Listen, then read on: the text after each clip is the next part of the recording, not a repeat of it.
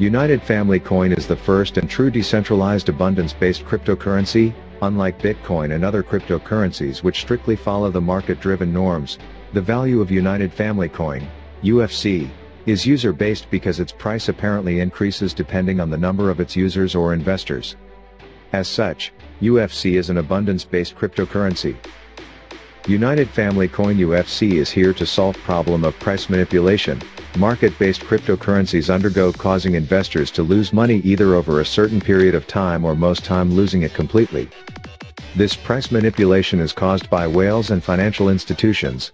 We can say market-based cryptocurrency is not completely decentralized it is being controlled by individuals with large quantity of the coin just as in the stock market. United Family Coin aims to revolutionize the global financial system in order to take back the financial autonomy from financial institution back to the people. So sign up today to be part of this community.